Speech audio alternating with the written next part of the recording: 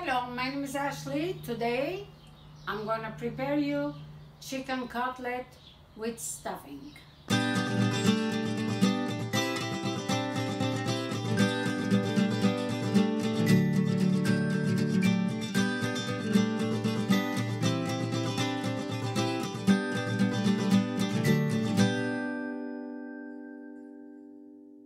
So we're gonna start, we're gonna stuff mushroom in it.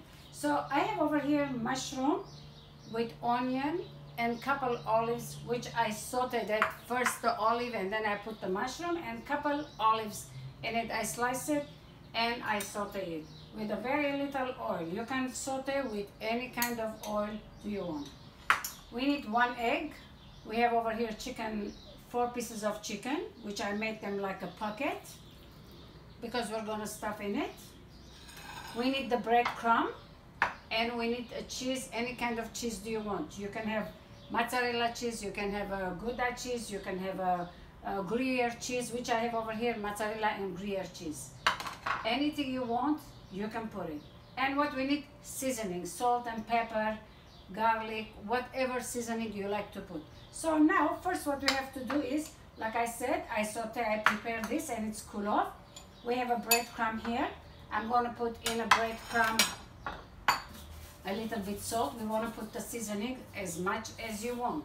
Always the seasoning, however, whatever you prefer. We will put a little bit black pepper. We want to put a little bit red pepper, chili pepper. A little bit paprika, which it will give good taste, good smoky taste and the color to it at the same time. And we're going to put a little bit cumin in it. About like a half a teaspoon and we have very delicious a little garlic. It's again it's optional. It's very little. That's it. Just to give nice delicious taste. This is home prepared garlic. It is dried garlic. So we're gonna mix this together. We're gonna beat the egg over here. We need to, to beat the egg one egg. I have very little oil because we're gonna fry it. And this pan i already sauteed the onion the mushroom so, and then I added a little bit more oil. This is a chicken breast. I sliced it nice and good thin. And then I sliced it again in the middle. It's like a pocket. So we will stuff in it. What we're gonna do is we're gonna put some mushroom with saute onion with any seasoning that you want.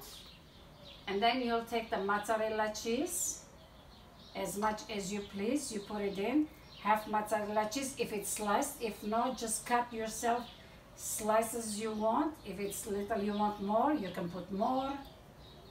I think we put both sides like this. You put the toothpick and you will close the mouth. The mouth it means the opening space just like this.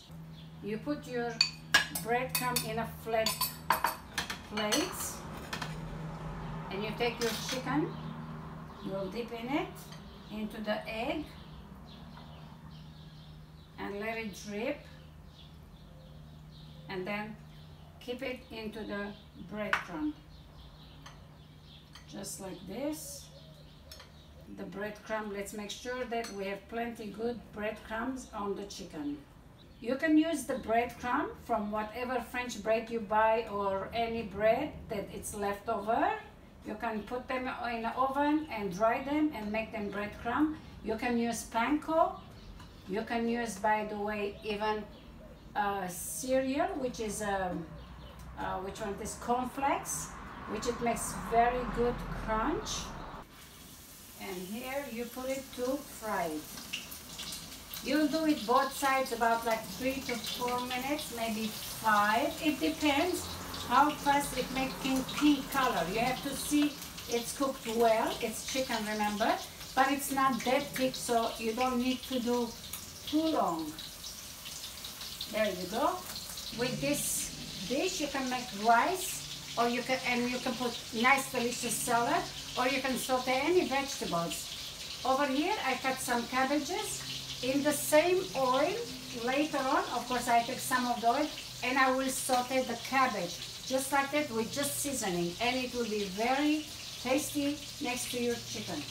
So we lower the fire here so it will cook slower and it will cook inside. Okay, we're gonna leave for two minutes. There you go. How beautiful it looks. Now the oil is not much. We're gonna saute our cabbage. Now we can higher the fire. And the cabbage as it cooks very, very fast. So what we need for cabbage, first of all, I have to say the cumin, it always helps for the stomach in case a lot of people, they cannot handle milk, the lactose tolerance they call. The cumin is one of the best thing to help not to make gas in your stomach. And sometimes cabbages it does give, so you just always use cumin. It's very, very healthy for you and it's good for you. So for this, we're gonna add a little bit garlic because it does good taste with cabbage. You can put again salt and pepper, anything you want. Remember the cabbage, it's gonna get soft and it's like this much cabbage, it's gonna make so little. So be careful when you put your salt, pepper, the seasonings. I'm gonna put paprika good so it will give nice color. And now very little salt. This dish, it will be very good together. You take the toothpick before you put on the table, of course, or they can take it out. Very easy dish. You prepare them, and this is how you serve it. The cabbages are so delicious that you can eat, it won't fill you up. And we're gonna cut the chicken. How delicious it will be. It's tasty, it will be juicy, because sometimes the chicken, the breast, it's always dry.